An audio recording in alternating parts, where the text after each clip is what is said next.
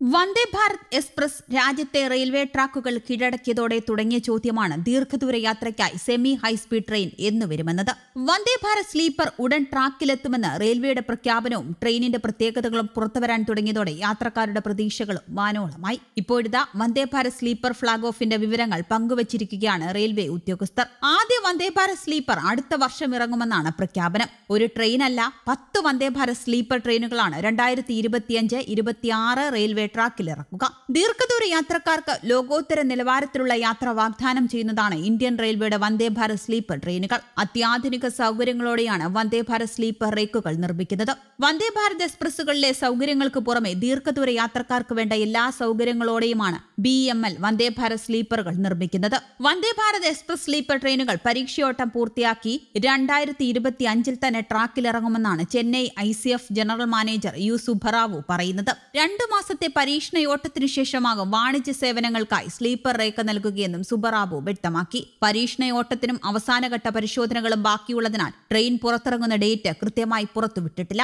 പൊതുമേഖലാ സ്ഥാപനമായ Bharat earth movers ലിമിറ്റഡാണ് ആദ്യ Vande Bharat sleeper train set Chennai I C എഫിന് കൈമാറിയിട്ടുള്ളത്. പരീക്ഷണയോട്ടത്തിനുള്ള ട്രെയിൻ തയ്യാറായെങ്കിലും ഇതുവരെയും റൂട്ട് സംബന്ധിച്ച വിശദാംശങ്ങൾ ഇന്ത്യൻ റെയിൽവേ പുറത്തുവിട്ടിട്ടില്ല. പ്രധാന നഗരങ്ങളെ ബന്ധിപ്പിച്ചാകും ആദ്യ ട്രെയിൻ സർവീസ് എന്നാണ് പ്രതീക്ഷിക്കുന്നത്. ന്യൂഡൽഹി പൂനെ റൂട്ടിലോ ന്യൂഡൽഹി ശ്രീനഗർ റൂട്ടിനോ ആകും ആദ്യ വന്ദേ ഭാരത് സ്ലീപ്പർ ലഭിക്കുക.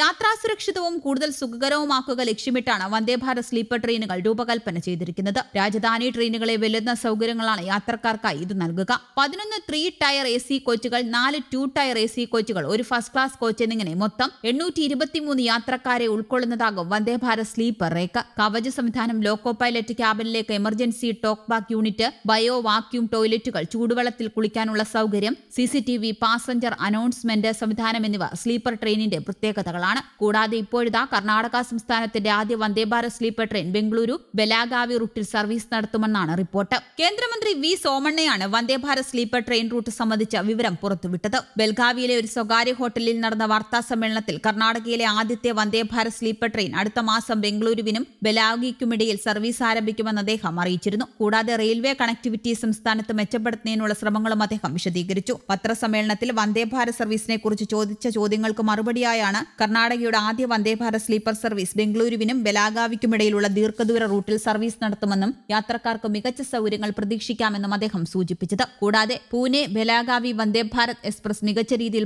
പ്രവർത്തിക്കുന്നുവെന്നും ഈ മേഖലയിലെ വേഗതയിലുള്ള യാത്രകൾ സഹായിക്കുമെന്നും അദ്ദേഹം പറഞ്ഞു. മുൻ റെയിൽവേ സഹമന്ത്രിയായിരുന്ന അന്തരിച്ച സുരേഷ് അങ്ങാടിയിൽ നിന്ന് പ്രചോദനം ഉൾക്കൊണ്ട പദ്ധതികൾ ഒന്നായിരുന്നു കിറ്റൂരിലൂടെ കടന്നുപോകുന്ന പുതിയ ബലാഗാവി ധാർവാഡ് റെയിൽവേ ലൈൻ പ്രധാന അടിസ്ഥാന സൗകര്യ പദ്ധതിയാണെന്നും അത് എത്രയും വേഗത്തിൽ പൂർത്തിയാക്കാനുള്ള ശ്രമങ്ങൾ നടന്നുവരികയാണെന്നും സോമണ്ണ പറഞ്ഞു. News desk Kerala Kaumudi.